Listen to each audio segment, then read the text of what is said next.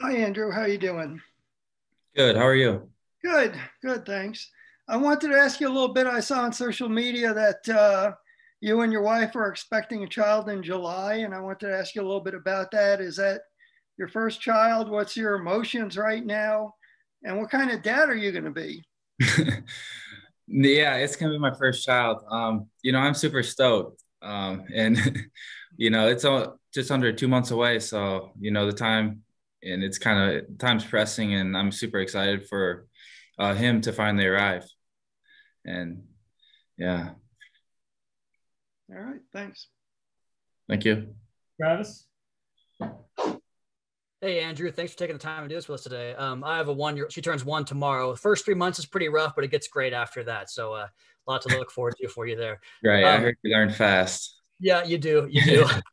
My football question for you, Andrew, is this: uh, you know, last year you you talked about the goal of getting stronger in the off season, and your coaches talked about that. You talked about throughout the season. I'm wondering what your goal is this off season and how you're working to achieve that goal. Right. You know, um, it's kind of the same goal. Keep adding strength and be um, get faster. You know, um, and then just have a better knowledge of the playbook. You know, this being my third year in it, um, to be able to be more assertive with my calls and um, adjustments. So I think that that's an, a huge part that I'm trying to improve on my game. Adam? Hey, yeah, Andrew, congrats on being a dad. It'll definitely change your life. Um, Thank you. I, I, wanted to ask you about Austin Jackson. Um, you went against him in practice, obviously, last year. You've probably, I don't know if you have seen his development this offseason, have you? And what do you expect out of him in year two? Um, I think just the way that he comes into work on a daily basis. Um, you know, he's um, competitive, he's tough, and uh, he's going to do exactly what the coaches ask of him. So um, I think I expect him to make a big jump um, in his second year and um, just to continue to improve and get better. And um, you know, I'm looking forward to see how he progresses this year. Thank you, Armando. Hi, Andrew. So two months from now, training camp. Uh, how are you going to balance the, you know, the new baby and training camp? And that's my first question. And secondly, um, I'm wondering with more uh, chances to more reps basically this year, you see an opening for yourself for higher productivity? Um, yeah, first off with the baby, uh, you know, it's gonna be tough, you know, trying to be a um, father and then a husband and um, just trying to raise a kid. It, it's gonna be tough, you know, but I'm gonna do everything I can to, you know, be ready for training camp. Um, so when I go home, I can just relax and let all the stresses free. Um, yeah, and then, um, you know, about productivity, you know, it's just doing everything that the coaches ask me to do. You know, be in the right spot. Um, commu- do the right jobs communicating and helping other guys get aligned and so they can play fast, you know, and that ultimately is going to bring us to achieve our goals as a defense and as a team. Dolphin? Hey, Andrew, thanks for taking the time to uh, talk to us today and, and good luck this summer. Um, you know, going back to the productive, pro- productivity question, um, you know, I saw last year you led the team in special team snaps. Um, you know, is that something that you definitely took pride in? And do you think that maybe playing some less special team snaps would allow you to, you know, have some more, you know, productivity like you're hoping for on, on defense? Um, you know, Flores prides um, himself and his team on special teams. So obviously, you know, hearing that from him and um, just Danny Crossman and how important special teams are, I really took that to heart and um, just made the most out of my opportunities. So um, you know, I'll continue to work hard and um, whatever my role is, I'm going to try to excel at it. Josh. Hey Andrew, I apologize. My I'm having I've been having issues with my camera and um, Zooms earlier, but um, my question is, what what are your uh, early impressions of, of Jaelan Phillips? Obviously, you know he'll be a guy that's um, around you and you know within the same position group uh, a lot of your days. Uh, what what have you what's it been like getting to know him and what are your impressions of Jaelan? Uh, it's awesome. Um, just seeing him come in and you know, he's trying to take everything in, soak it up, and um, just be the best version of himself. And you know, he's here to compete, and um, you know, it's going to be a good training camp just to you know help work to work with him. Mike. Andrew, congratulations on being a dad soon, and uh, thank you for taking the time today. I, I, believe I read there's about 70 guys at camp right now for these off-season workouts. What, what has the mood been like, and has it been any different from the previous seasons that you have been here coming in? Uh, the mood's been great. I mean, every time, anytime you can get around the guys and you know just um, catch up and um, spend quality time with them and build friendships and relationships, you know, it's um, it's a blast. And you know, the energy is always up on the first few days and um, whenever you're around each other. So um, it's been good and uh, just being able to soak everything in as well, just the coaching and um, trying to get a better understanding of the playbook. It's it's been a blast. If I could follow up real quick, has Coach Flo been the same coming into these off-season workouts and previously when you were you came in? Yeah, for sure. You know, he's uh, he's hard nosed and he's gonna make everything competitive and um, he's gonna push you to be the best you can be and um, come out there prepared. So yeah, I'd say he's been the same.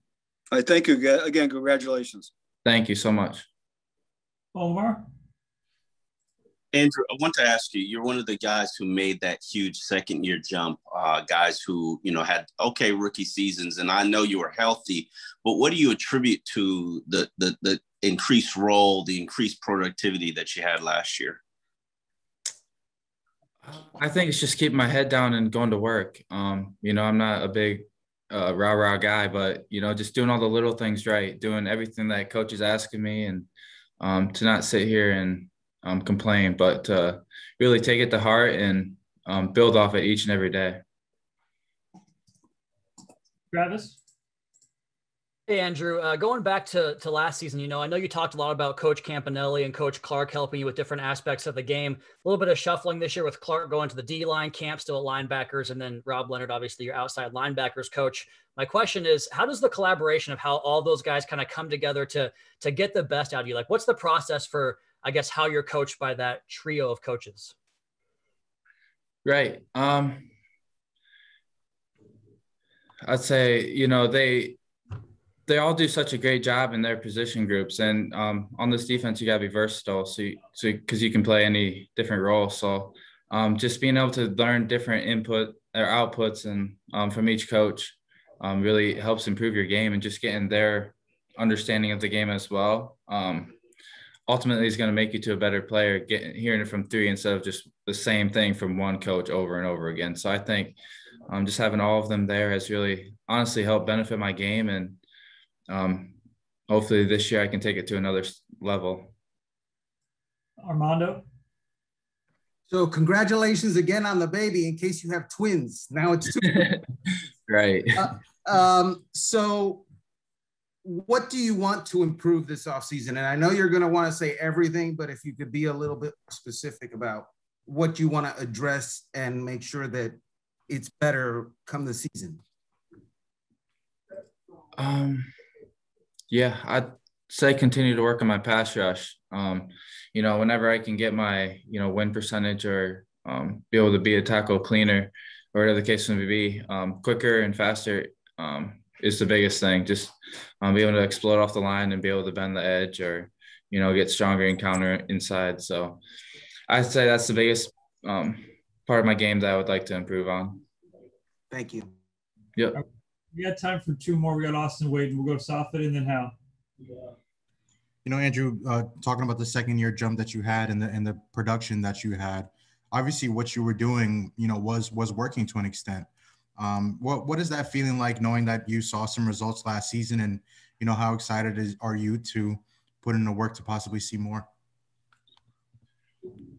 Uh, you know, um, each year I come in and train as hard as I can to um, put me in the best position to succeed. And, um, you know, I, I think the coaches will put me in the right spot to, you know, help me succeed and help um, develop me as a player. So, you know, I'm looking forward to um, going out there and just um, use that relentless effort and, um, you know, try to help this team win.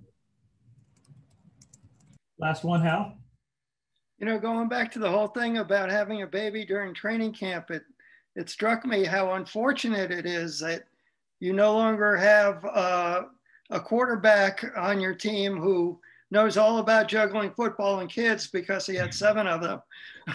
but but I wanted to ask you um, about the jump that the defense made in general last year. Um, I believe you were number six in scoring. Um, what did Josh Boyer do in his first year as coordinator that made things come together as well as they did?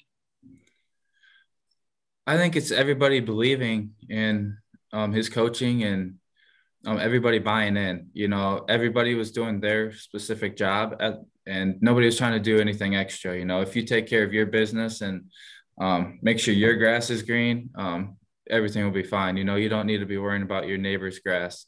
Um, just take care of your grass, and everything will take care of itself. You know, and as a defense, you'll come together and um, you'll be a darn good defense for sure. So you're going to text Ryan? Yeah, right. Might have to.